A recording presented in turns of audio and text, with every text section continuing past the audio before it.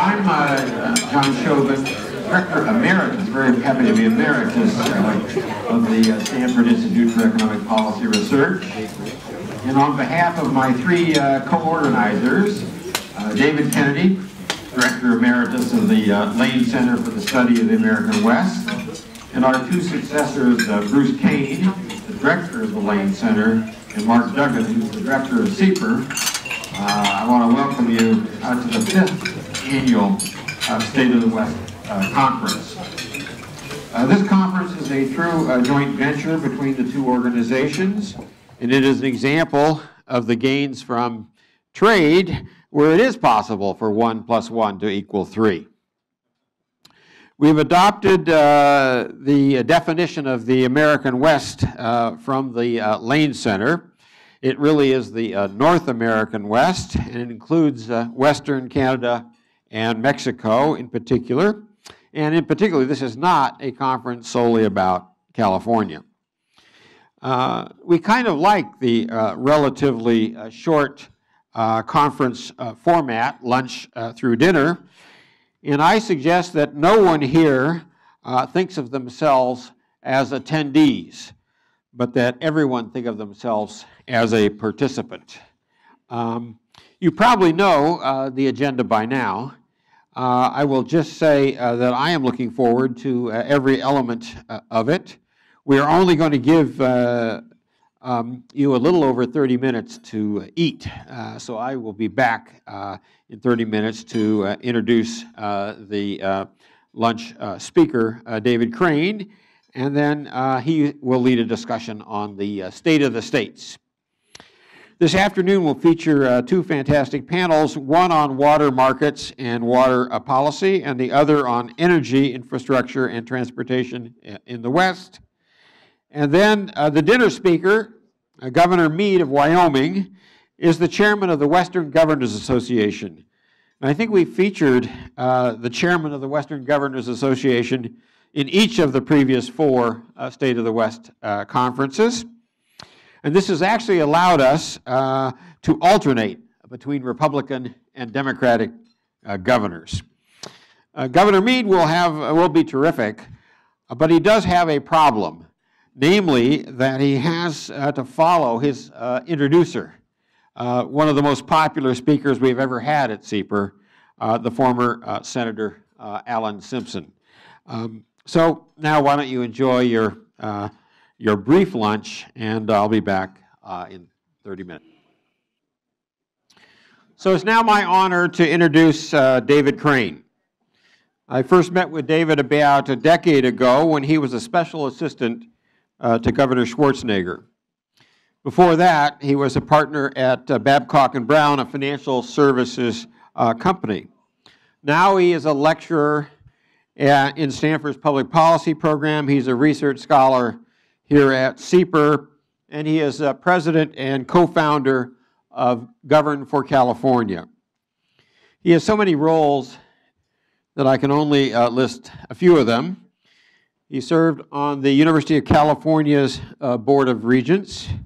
He was a director of the California State Teachers uh, Retirement System a director of the California High Speed uh, Rail Authority, a director of the Environmental uh, Defense Fund, and I could actually list six or more additional directorships, both current and uh, former. Most recent uh, and most relevant uh, to today's talk, he was a member of the Society of Actuaries Blue Ribbon Panel on the causes of public pensions being underfunded and he was a member of the Volcker uh, Ravitch uh, task force on the state uh, budget, the budget crisis of the states.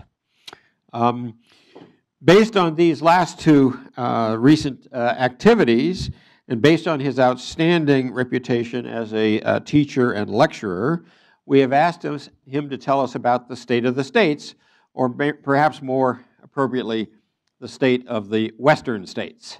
So, uh, David, if you would. Thank you.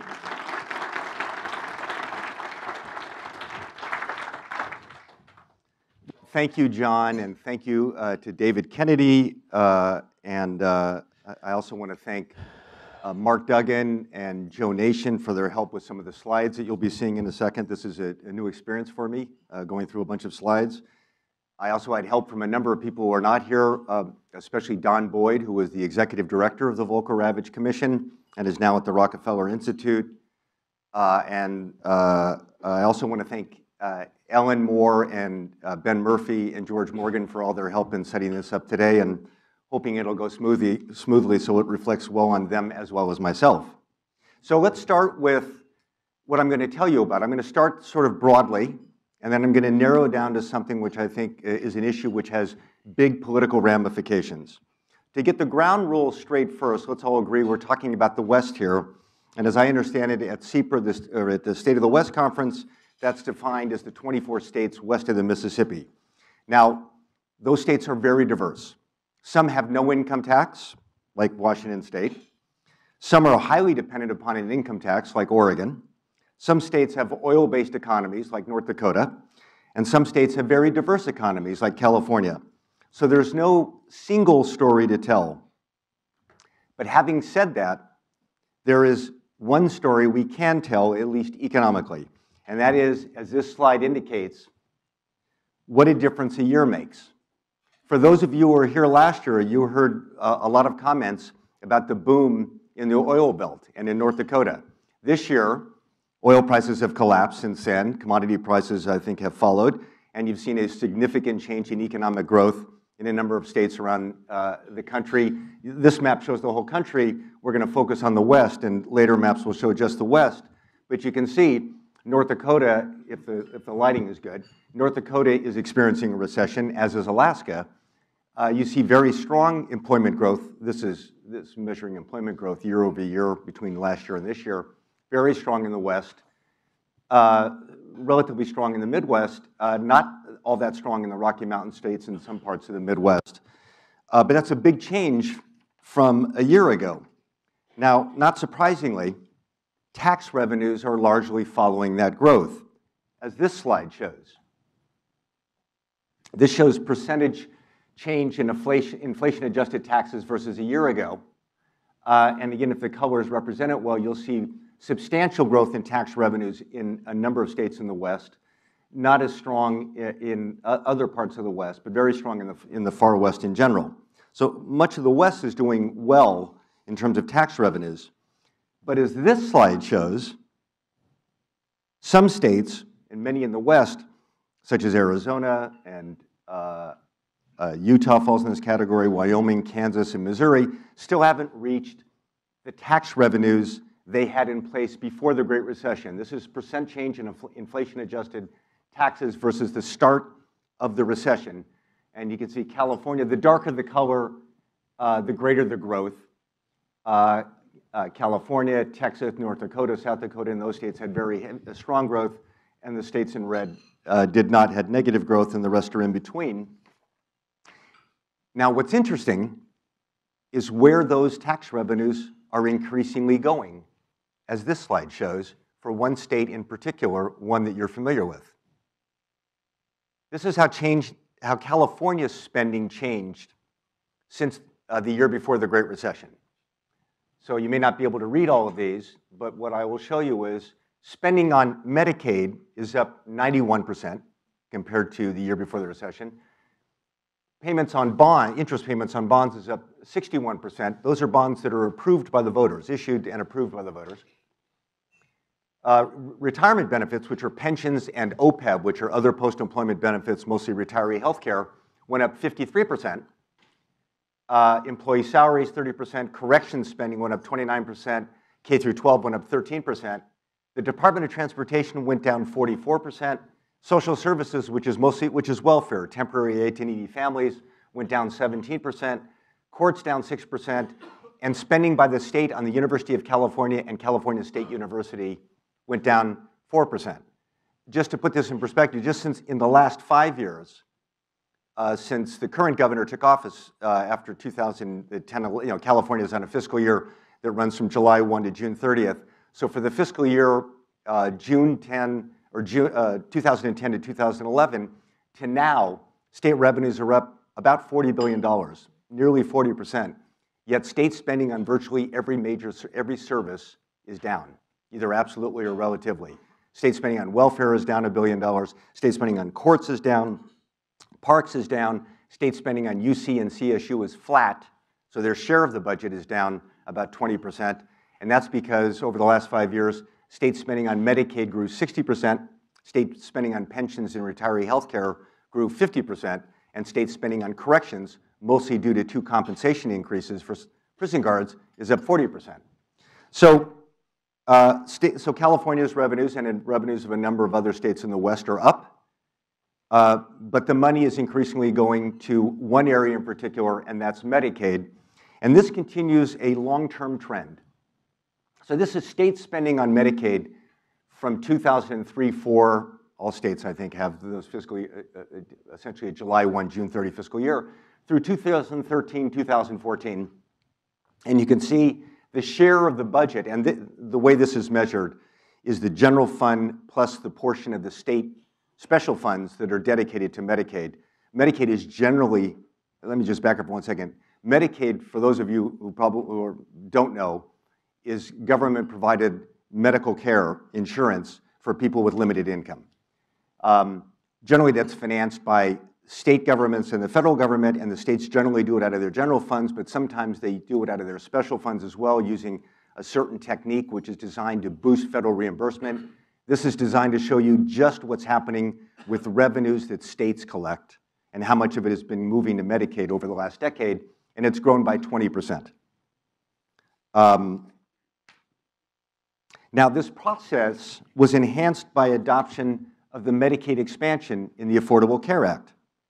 Uh, and uh, for those of you who don't know, under the Affordable Care Act, a significant portion of it was an expansion of Medicaid to people who were above 100% of the poverty level, which is what people before were entitled to if they were entitled to Medicaid, or those uh, at 100% or below were entitled to Medicaid.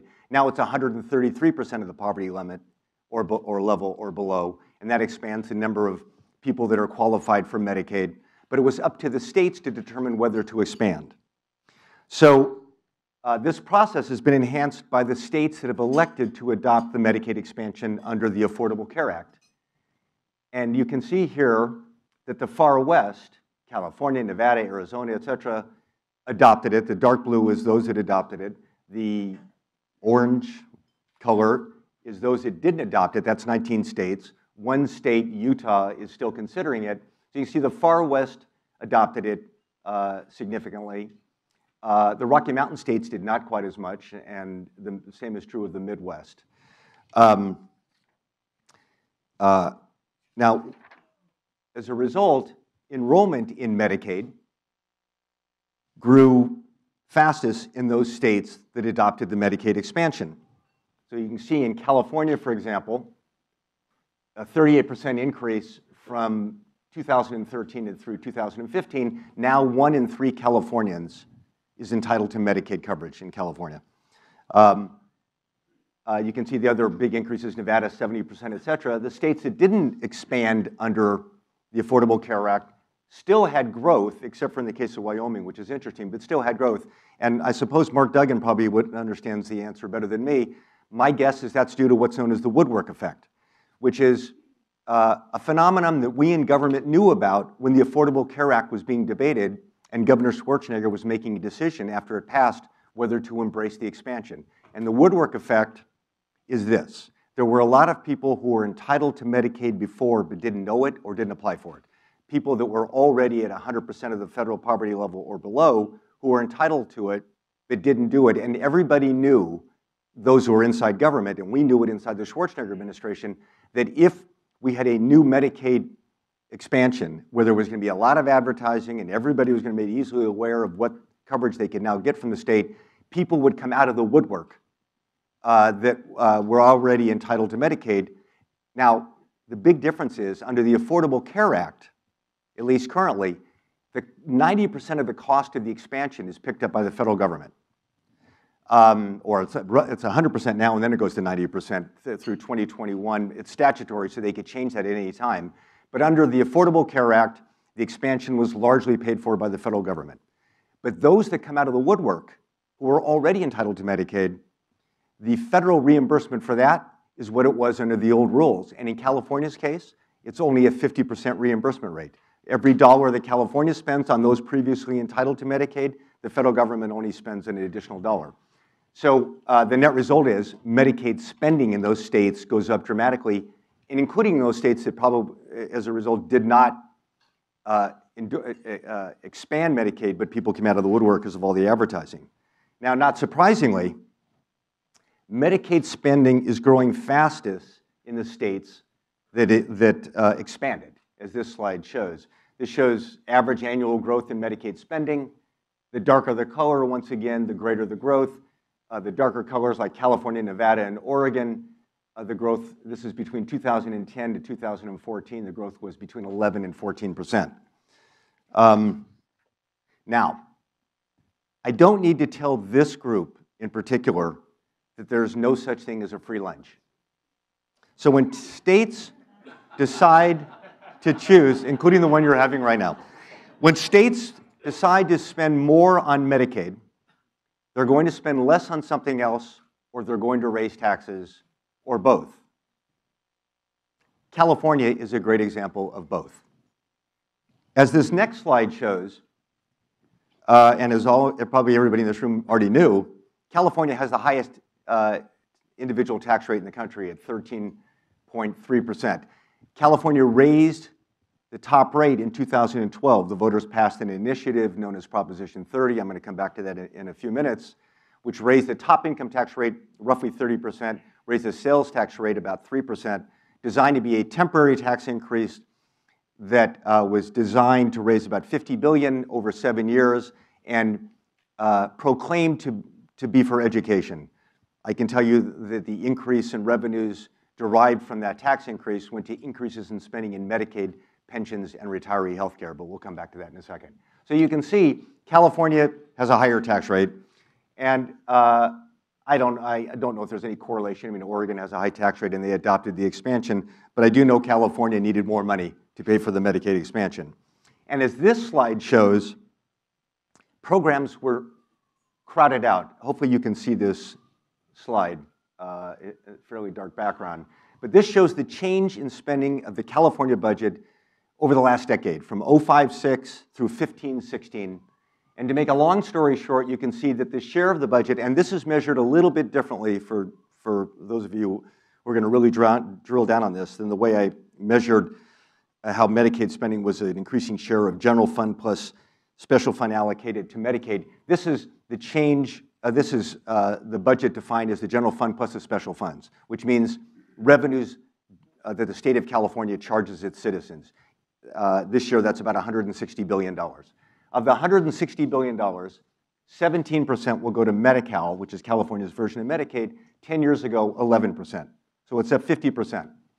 Uh, uh, UC and CSU are down 20%, from 5% of the spending to 4%. Everything else is down 43%. K through 12 stays rather flat, but that's because it's protected by Prop 98. And again, for those of you who already know about this. The reason that is not 40%, which is what Proposition 98 requires, is because this is combined general fund and special fund spending. You will also see from this that the other category that grew a lot was pensions and retiree health care, and its share doubled from 3% to 6%, and you ain't seen nothing yet. Um, now, a clever pundit, and I wish it had been me, once described the federal government as an insurance company with an army.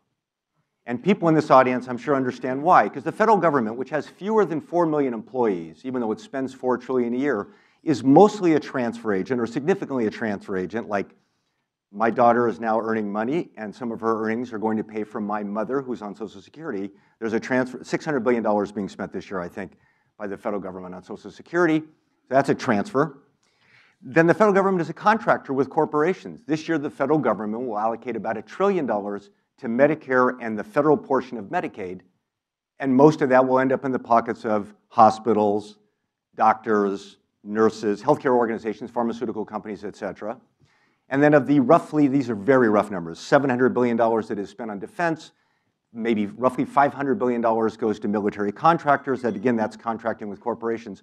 Only 15% of the federal budget uh, goes to compensation and benefits for employees. And the most direct service provided by the federal government is military. So that's why this person once described the federal government as an insurance company with an army. It's really an insurance company and an annuity company with an army. Um, and now this also explains in part why politically, a lot of the political spending in Washington is undertaken by the biggest feeders at that trough. Healthcare companies, military companies, uh, uh, a lot of political organizing by AARP and others, because they're the biggest beneficiaries of that four trillion in spending. And then, of course, there's another trillion dollars of tax expenditures, and that leads to spending by corporations and others who want those expenditures to continue. Um, states used to be very different. And this is what the, uh, Paul Volcker and Dick Ravitch wanted to point out so much in the Volcker-Ravitch report. States have, state and local governments have about 20 million employees. And that's even though state and local governments will spend only about $3.5 trillion, less than the federal government. And that's because state and local governments are direct providers of services. Public education. California has 6 million kids in K through 12 and 3 million at UC and CSU and community colleges. Public safety, public uh, transportation, public infrastructure, all those sorts of things have historically been done by employees who are um, employed by the states and providing direct services. So the difference politically was that the, uh, the biggest business interest at the state and local level are government employees. And I would use the word unions to describe them. They are a business interest. This year they will carve out a, more than $100 billion out of the $250 billion that the state will spend, including federal funds this year. And local governments, it'll be roughly 80 cents of every dollar they spend. They are a business interest and they operate politically just no differently than a pharmaceutical company. And they were historically the biggest political players. But one thing has changed now, and this is the increased spending on medical care, uh, health care. And more and more of that is not going to government employees, but instead it's going to organizations that employ healthcare employees, hospitals, both for-profit and nonprofit, pharmaceutical companies, doctors and nurses organizations, et cetera. And this explains why, I mentioned before, the Prop 30 tax increase in 2012 which is supposed to be temporary, but there are already two moves in place to put on the 2016 ballot. Uh, one measure is led by the California Teachers Association, who is the biggest spender uh, in California politics and the biggest recipient of state spending. Roughly 84% of the $83 billion that is spent on K through 12 education goes out in comp and benefits. So uh, they, they have a proposal to make Prop 30 a little bit less temporary and extend it to 2030. But the healthcare organizations led by the Nurses Union and the California Healthcare Association and others, and unions like SEIU that represent a number of healthcare workers, don't like that one as much. So they want a permanent increase and another a point higher. So that I think the top rate would be 14, maybe even more, like 14, at least 14%. And I think apply to anybody who earns more than uh, $500,000 a year and you can understand why. Those are the two biggest feeders at the trough, and they want more money for three things. One, to pay for a massive explosion in pension costs that is about to happen, and a massive explosion in OPEB, retiree healthcare costs. Two, to continue to pay for the expansion of Medicaid and the, and, uh, the services that uh, the one out of three Californians want. And you'll notice there's legislation in the California legislature right now to allow Medicaid to be provided to all non-documented immigrants in California, not just a subset. And three, they want more money for, tax, uh, for uh, salary increases. And they know there won't be enough money for all of those things, so they want a very substantial tax increase. And you will see a lot about that in 2016. Now, speaking of pensions, um, this slide is designed to show you that most states actually properly fund their pensions. Now, when I say properly fund, that's using self-reported math by local and state governments. And that's using what people in this audience probably understand is a very high discount rate. Using a Joe Nation or Josh Rauh proper discount rate, uh, for example, the same rate that is used to discount the interest payments that the state of California is making to me as a creditor of California, no different than a pensioner. If I was a, if I was a pensioner of the state of California, receiving the exact same payments from the state that the state is paying me uh, for interest on bonds uh, that I purchased from the state of California, they would report their obligation to me under the pension payment at about half the size of the size of the obligation they report to me on the debt obligation, because in one case they get to use a super high discount rate. Using that super high discount rate, self-reported, most states are properly funding their pensions. But you'll notice there are some states in red that are not. And one of those is California. None of the rest in the West, uh, I mean, there are some in the Midwest and Rocky Mountains that aren't completely green. But California stands out, and that's because of two outliers. The California State Teachers Retirement System, on whose board I once sat before I was removed by the state senate, is the, has the largest unfunded liability in the state. And the second is the University of California Board of Regents, where I also spent a year before I had to leave. And, uh, and they also have a massive unfunded liability. And the net result is, is that even though pension costs in that chart I showed you have already doubled, expressed as a percentage of state spending, as I said earlier, you ain't seen nothing yet, and especially at school districts. The state legislature uh, last year, and Governor Brown signed legislation, AB 1469, which crammed down 71% of the cost onto school districts of the state's unfunded liability for uh, teacher pensions. That is by Cal STRS's own math, uh, $170 billion of additional payments over the next 30 years, which is that's twice, uh, that's in addition to the 170 billion those school districts are already planning to spend on pensions. And that's using the self-reported discount rate. So using a proper discount rate, they won't be spending $340 billion at those school districts over the next 30 years. They'll be spending closer to $700 billion on that. And you will start to see this show up very significantly starting in 2019 because very cleverly, they structured the increase in spending as a result of uh, this, this ramp up, this slow ramp up, to coincide with the next governor taking office, not the current governor being in office. Uh, and this is why some of you who read the bond buyer may have just seen in, uh, a headline uh, to quote, I think this came out two days ago, dire financial future seen for Los Angeles schools. It's a very significant issue. Um, and the teachers unions don't want you to know about it as part of the tax increase, but my guess is somebody's going to make sure it is known. Um, now, speaking of education, this slide shows expenditure per student in the western states as of 2013, and I'll explain 2013 in just a second. In that year, California spent $11,246 per student. Texas, by comparison, spent about $8,300 per student. Um, uh, you can see that Wyoming, where the governor is speaking tonight, spent a lot of money. I can't even read the number, but they're one of the largest spenders. Uh, so California's a big spender, and this is an important point. Um, interest groups regularly don't report the truthful amount that is spent on K through 12 education in California. I mentioned the state will spend $83 billion this year. If someone from the California Teachers Association was here, was here, they would say, oh, wait a minute, no, we're only spending $50 billion, which is what the state portion of what's known as Prop 98 is. Or if they were a little bit more truthful, they, thank you. Uh, if they were a little bit more truthful, they'd say, no, the state is spending $68 billion because that's the combination of the state allocation for K through 12 under Proposition 98 plus property taxes, which are the other portion that is allocated by Proposition 98 to finance schools. But it's $83 billion because the federal government provides the balance. And that is the truth. And, and, and to his credit, Governor Brown reports this in his budget.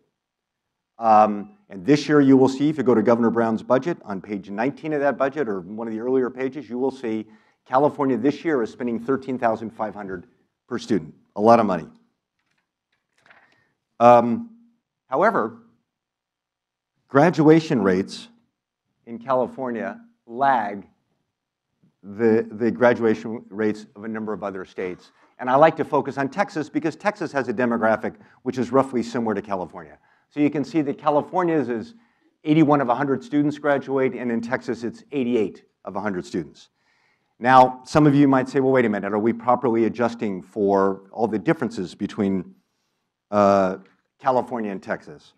So let's adjust for economically disadvantaged students. And what you will see is when you adjust for that, California gets worse. 76 of 100 graduate versus 85 of 100 in Texas. So we're spending more, but our graduation rates are lower uh, for at least all students and economically disadvantaged students. Uh, there are also another number of other ways you can compare the data, Latino, Hispanic, uh, male, female, et cetera. It's, it's a wonderful new software that has become available. Now, you can drill down on this a little bit more and see what it means for actual educational performance by looking at this slide, which is really hard to see. Um, but this is from the National, sorry about that, it's, it's the National Assessment of Educational Performance report, which just came out. And it only compares through 2013. So this is why I'm using 2013 numbers.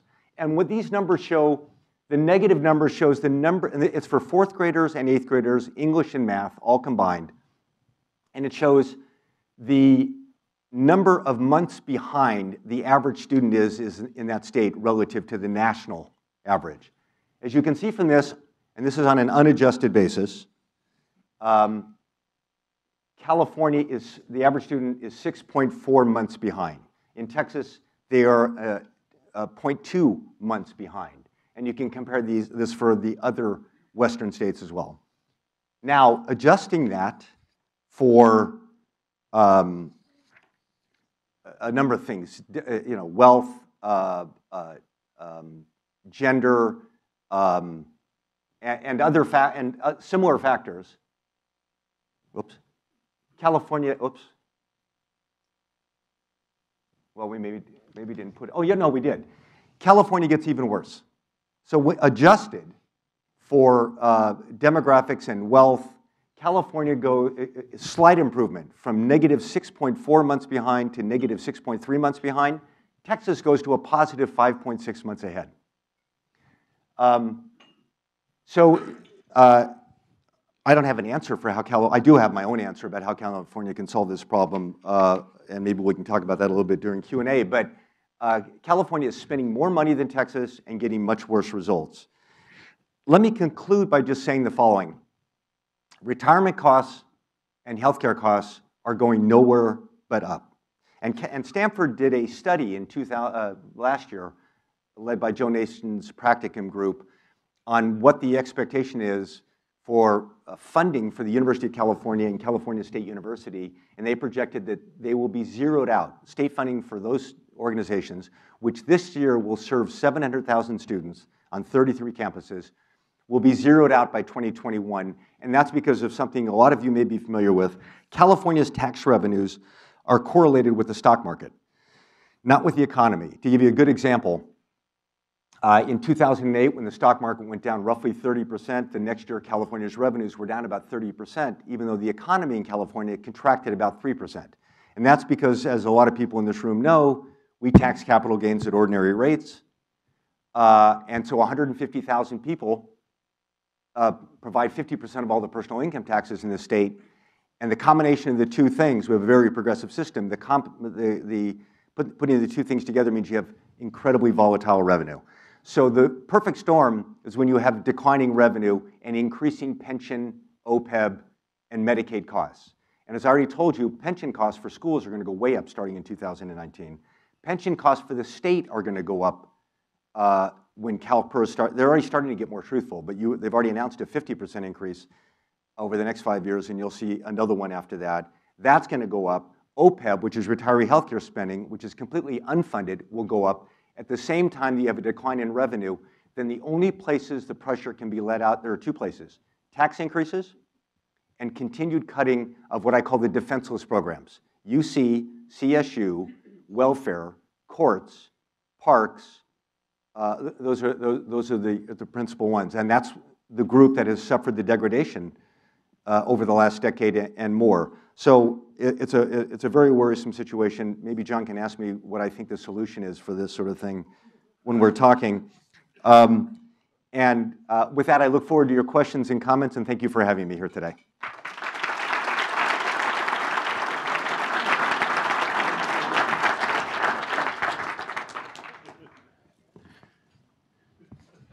Well, David, we only have a few minutes, but a couple things you said there that you uh, said you had more to say. One was uh, the uh, sort of inefficiency of the California education system relative to the Texas education system in the sense that they seem to get better results for less money. Uh, so what's the secret there?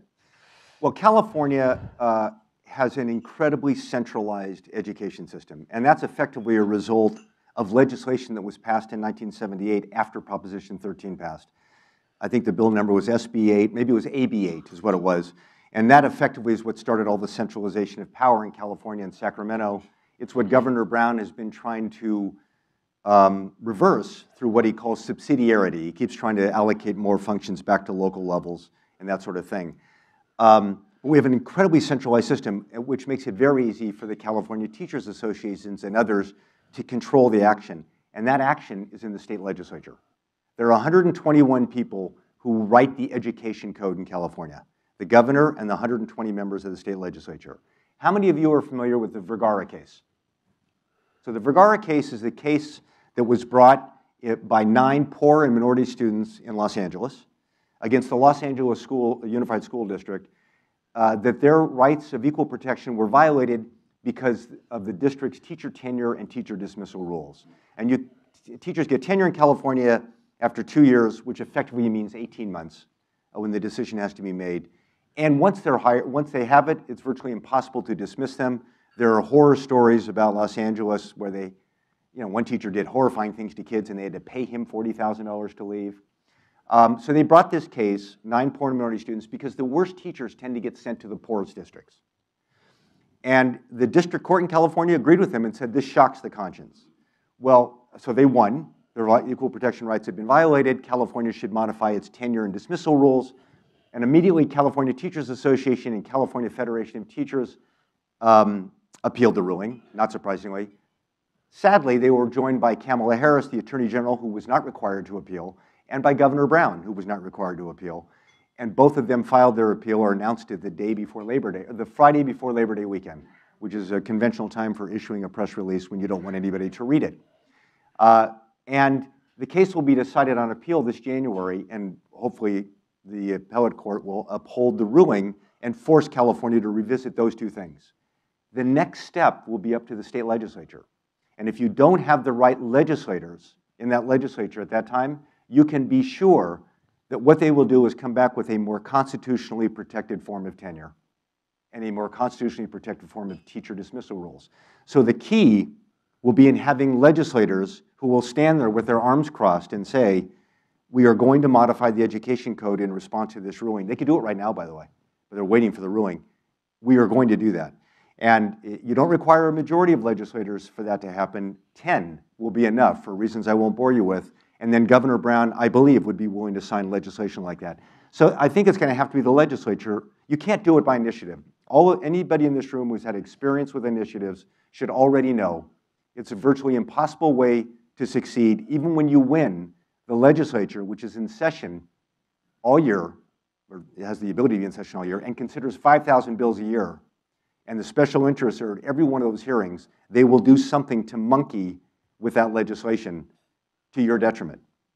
Uh, so you got to get the right representatives there to make sure that doesn't happen. So let me ask you one more question, namely uh, the future of the UC system.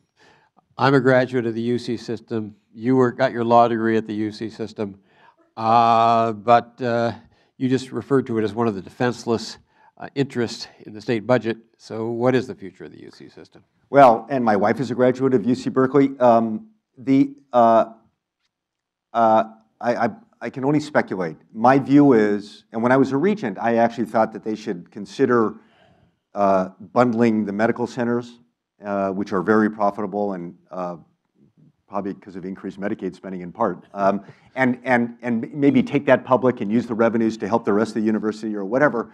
But ultimately, I think it's some of the universities in that system are going to have to effectively privatize. It's already sort of happening anyway.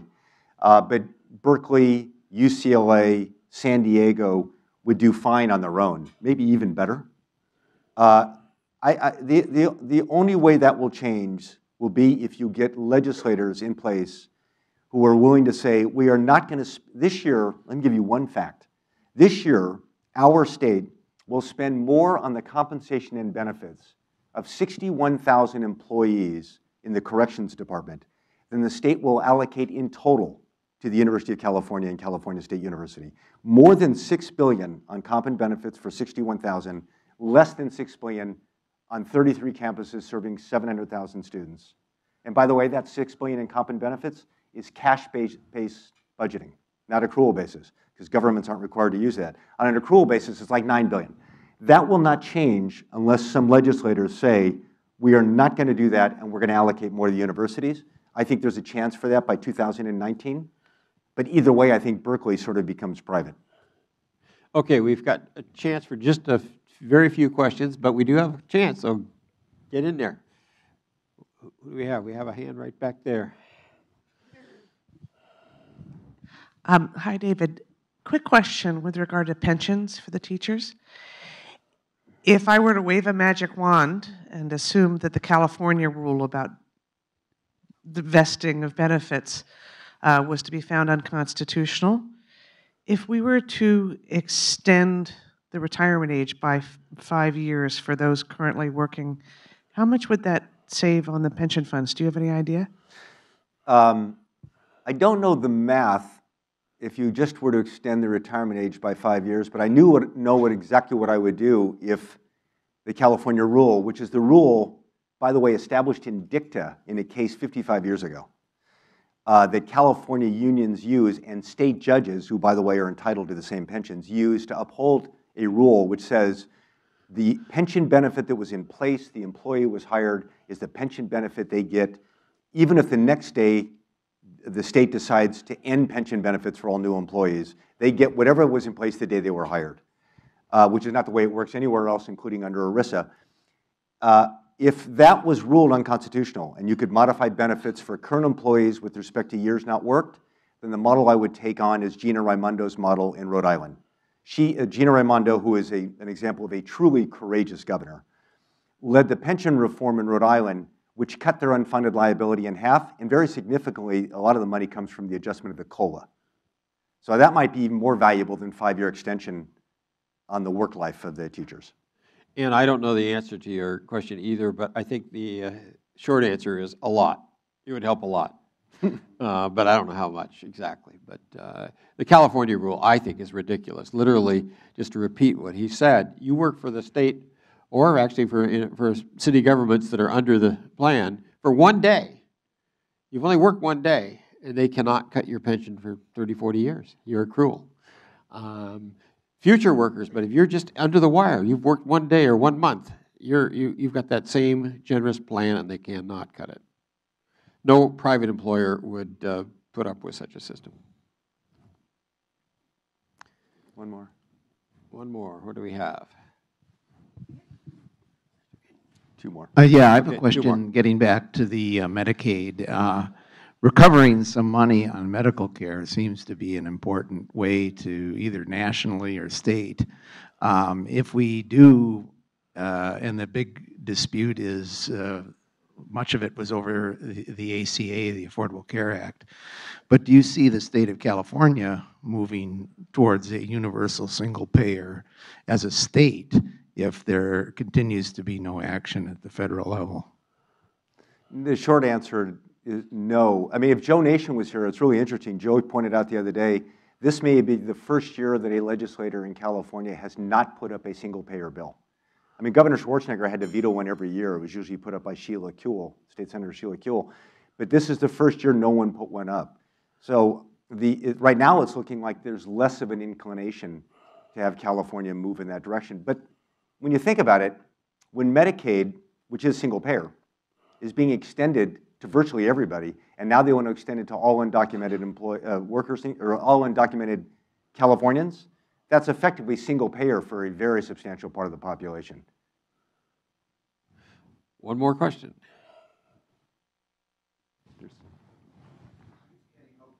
Wait, wait for the mic. Do you see any hope for a reduction in the amount of money we're spending on corrections? Um, with a more courageous governor, uh, full disclosure, I supported the current governor and donated money to his campaign in 2010. And he had told me when he was mayor of Oakland that he thought the biggest mistake he made during his first term as governor, or second term, in the late 1970s, was signing what's known as determinate sentencing, the determinate sentencing law, mandatory minimum sentences. And if you look at the math, if you look at California's prison population, it's like a hockey stick right after that. They, uh, legislators love to blame everything on voters, like three strikes. That just steepened the curve a little bit. Determinate sentencing is everything in California, and the governor and the legislature could repeal, could address that, modify it tomorrow, and he hasn't touched it. And I've learned that what Governor Schwarzenegger's chief of staff, Susan Kennedy, a longtime Democrat, said the day I told her I had voted for Jerry as governor uh, in November of 2010, I, she said, why? And I said, he's going to be Nixon to China. He's going to solve all these issues. And she said, David, he's the most cautious politician you will ever know. And she was 100% right.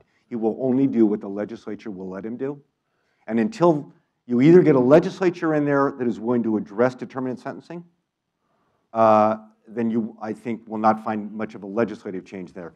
By the way, in the last five years, Governor Brown and that legislature gave prison guards two salary increases, even though they were already the highest paid prison guards in the country by a long shot. And in doing it, for example, in 2011, when they granted the first compensation increase, that year they cut welfare, UC, and CSU three times. I mean, they are an incredibly powerful union that most legislators to date have been cowed by. And I hope to be part of maybe changing that a little bit. I think that, who knows? Okay, we're going to run this thing on time, so I want to thank David.